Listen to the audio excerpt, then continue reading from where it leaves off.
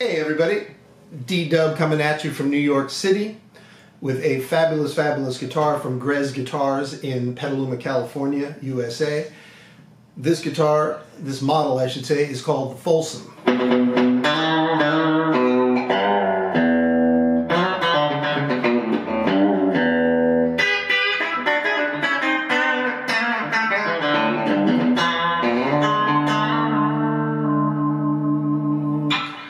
This uh, guitar was shipped to me a few days ago and I've barely been able to stop playing it. Um, it's a really, really wonderful instrument.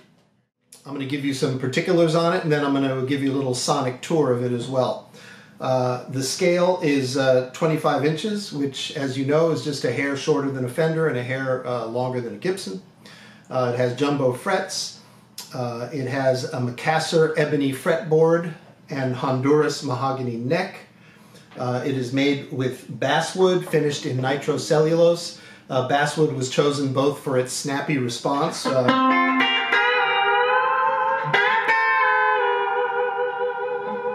as well as its lightweight.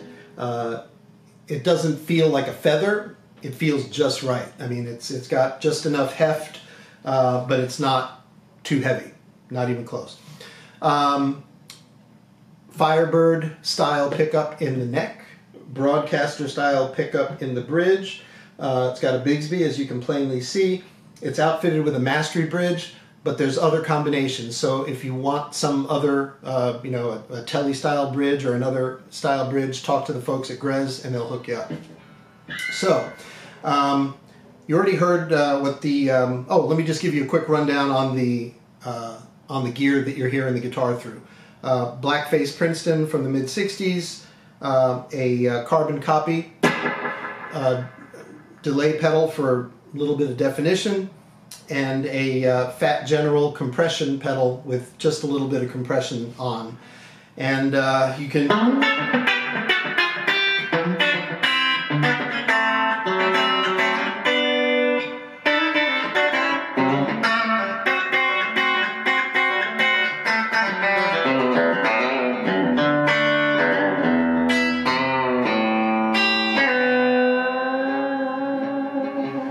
Can hear it's got some, some real spank to it. And here's some uh, neck pickup, the clean tone.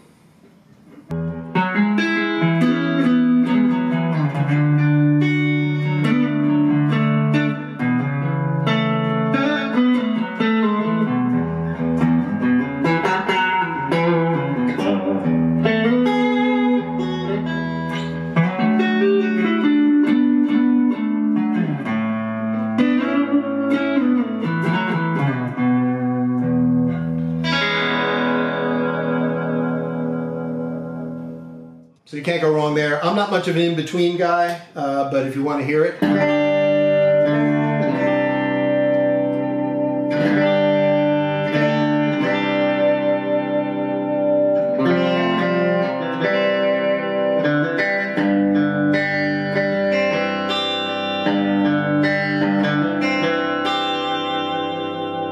There's your in-between sound. Uh, now let's get crunchy. Let's start with the um, with the neck pickup, which um, it, you can't get a bad sound out of this pickup.